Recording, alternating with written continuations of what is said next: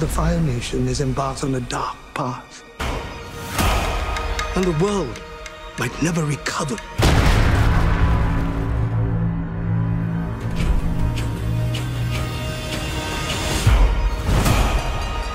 The world needs the Avatar. It needs you, Aang. The Fire Nation has destroyed everything in their path.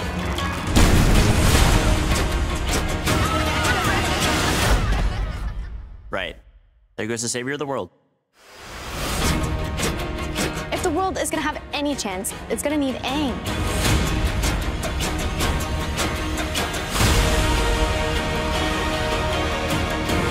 I chased down every hint of the Avatar. It's my destiny. You don't have to do this alone. You have me, Tara, and a flying ball of fur. I'm not someone who can stop the Fire Nation. I don't want the responsibility. What more do you need?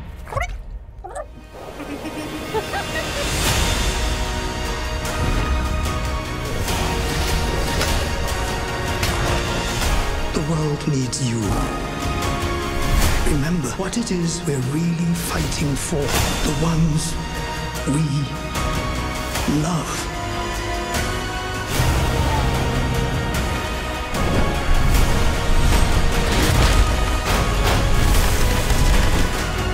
I'm the Avatar, and I'm gonna save the world. With my friends.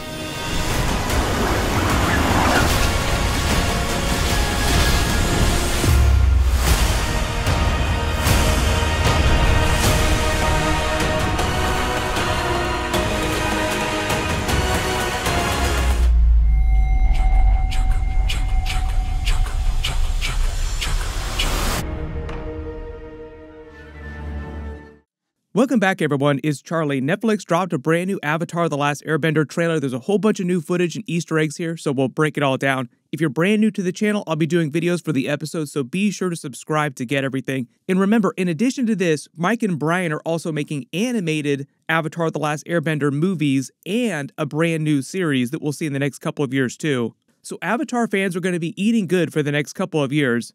There's a lot of very familiar Avatar The Last Airbender theme music that they play during this trailer, or Netflix versions of the Avatar The Last Airbender theme music. But they actually start the trailer with Monk Gyatso's voiceover talking to Aang in the past before he goes into the ice about how the world needs the Avatar. This is meant to be when the Fire Nation is attacking, but during the series, they're actually going to show us the genocide of the air nomads way back before he went into the ice.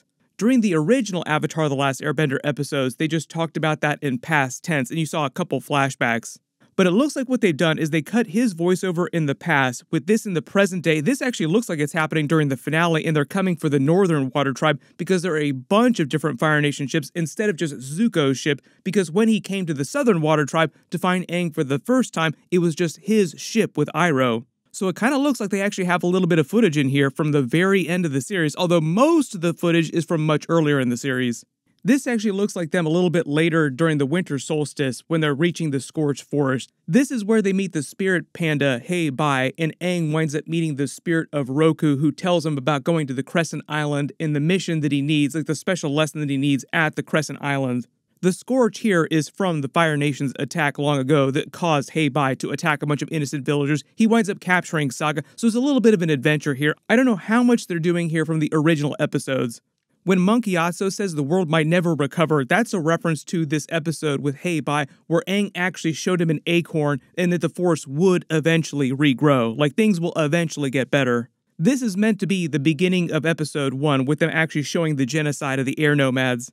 This might actually be Fire Lord Sozin attacking. Then they show Aang coming out of the ice in the first episode. We get a little bit of classic theme music from Avatar The Last Airbender. This does not look like a flashback. This looks like from present day in the Fire Nation court with Fire Lord Ozai and his men. This is meant to be one of the big changes from the original season 1, so we didn't really see Azula that much till like the very end of season 1 and then mostly during season 2 when she becomes one of the big antagonists.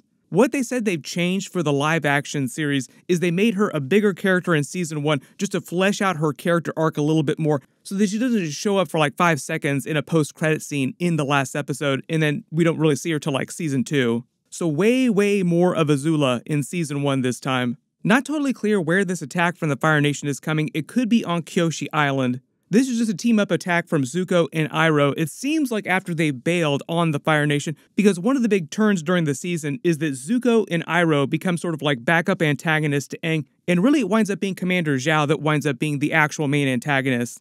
This should look very familiar. It happened in the first couple of episodes of the original series. It's the ruins of the Southern Air Temple. This is where Aang goes into the Avatar state again because it gets so pissed off remembering what actually happened to the air nomads is basically him witnessing the aftermath of what he missed when he took off into the ocean and went down into the ice. Like, this is all the destruction that happened. All your friends died, all the people that you cared about because you ran off, theoretically in his mind. Like, he blames himself for all this happening. This is probably in the Southern Water Tribe before Zuko comes to attack looking for him. This just seems like Katara talking to Sokka, trying to explain to him why he needed to help Aang on his mission to make it to the Crescent Islands. This actually looks like Kyoshi Island, though, because you see the statue of Kyoshi in the background there. We're actually supposed to get some sort of flashback to Kyoshi during season 1. We get a little bit more of Appa, we even see Momo later in the trailer, too. So far, the special effects on them actually look pretty decent. A little bit more of him trying to impress everyone at Kyoshi Village. A little bit more comedy from Sokka. For a second, I almost thought that he was actually eating a cabbage, but we actually don't see Cabbage Man till he actually makes it to the Earth Kingdom. And do not worry, Cabbage Man does appear during the season. There was actually a brief scene in the last trailer of them entering Omashu. They actually see him for the first time when they enter the city here. This ship by itself just seems like it belongs to Zuko and Iroh. Probably during the first couple of episodes when they're down near the Southern Water Tribe and they wind up seeing Aang's signal as he comes out of the ice. We get a little footage of him talking to Iroh about his whole mission. It's basically like episode one, where he's explaining who he is, what he's doing, why he cares about his honor so much all of the memes that you remember from Zuko. I must capture the Avatar and reclaim my honor. Notice on his wall here in the ship, you see pictures of a bunch of airbenders in the background. These are previous airbenders, these are a bunch of air nomads. He's just trying to familiarize himself with what Aang might look like because they don't actually know. All the designs of his men look like they're right out of the series. A lot of people are going to be commenting on Zuko's scar. It's not quite as big as it is on the animated series. Like they toned the scar down just a little bit. A lot of people will remember Paul Sun-Hyung Lee from The Mandalorian more recently. He was also on Kim's Convenience, but one of the funny coincidences on that show, people called him Appa. So we have Appa on a show with Appa. He also kind of looks like he was born to play Iroh. Not expecting any leaves from the vine or any like super cry-worthy moments from him during season one. Maybe a couple cry-worthy moments, but like the real cry-worthy stuff doesn't really happen to like season two when they make it to the Earth Kingdom. We get a little bit of voiceover dialogue from Aang talking about stopping the Fire Nation, not sure if he can actually do it. Then we see more of Ozai at the Fire Nation palace. And it looks like this scene is actually going to be a flashback, or they're actually going to show us him giving Zuko his scar. This is also one of those moments during the original Avatar The Last Airbender series that we only saw in flashback when characters were remembering, like Iroh was remembering these events happening. Like I said, one of the things they said they changed for the live action series is they show us some of these scenes in a much bigger way.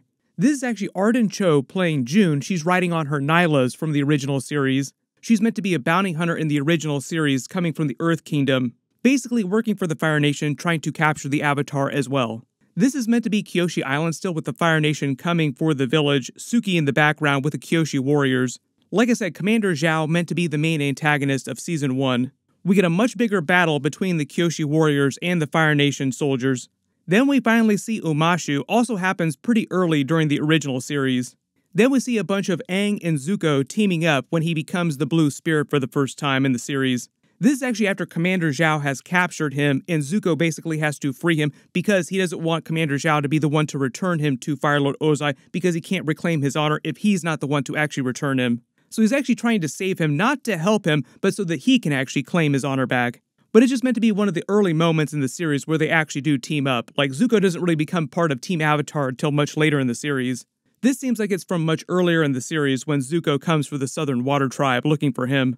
Them inside the Earth Kingdom fighting the Fire Nation. Then we actually get our first footage of King Bumi during the Omashu episode the much older version of King Bumi, giving him a little taste of earthbending because at this point Aang hasn't learned how to earthbend yet. Toph is the person who actually teaches him how to earthbend. But the whole idea is that he doesn't really learn to earthbend until season 2 or book 2, however you want to think about it. This looks like Katara waterbending inside the northern water tribe towards the end of the series because she also doesn't really learn to waterbend in a much more complete way until she gets lessons at the very end of season 1. Just because of his top knot here, it actually looks like she's fighting Zuko here. This actually seems like Jet, a lot of people wondering if they do Jet on the series. This is more of them at the very beginning of the series with Zuko attacking Aang at the Southern Water Tribe. A lot of footage from those first couple of episodes. Then we get Aang going into the Avatar state again. And just a reminder that all the episodes are dropping February 22nd binge style because we are talking about Netflix here. They haven't said when book two or season two is going to release. I think part of the idea is they want to get everything out as quickly as possible. Hopefully, hopefully they have a plan to get season two out by at least next year, but it could be two years because of the strike delays. That would actually mean that season 2 releases the same year that Mike and Brian's brand new Avatar The Last Airbender animated movie is also supposed to release. That's supposed to be with an older version of Team Aang. A lot of people wanted them to actually just adapt some of the comics for some of the animated Avatar The Last Airbender stuff, like just do forward in the timeline for Team Aang after the events of Book 3. Seems like you all got your wish. That's going to be the first animated movie. There'll be multiple animated movies, though. That's what Avatar Studios is all about. Like they started their own studio, they're going to be making brand new Avatar animated series and movies. The brand new animated Avatar The Last Airbender series is actually going to be about the next Earthbender Avatar after Korra, though. That won't premiere, I think, until 2026, so it's a little further off. But there's a whole bunch of brand new footage here. This trailer looks way better than the last one. If there's any Easter eggs you spotted that I didn't talk about or any big questions you have about the series, just write them in the comments below and I'll just continue doing more videos as we get more footage for the series. We just got a brand new Invincible Season 2 Part 2 trailer. Click here for that and click here for all my other Avatar The Last Airbender trailers. Thank you so much for watching and I'll see you guys in the next one.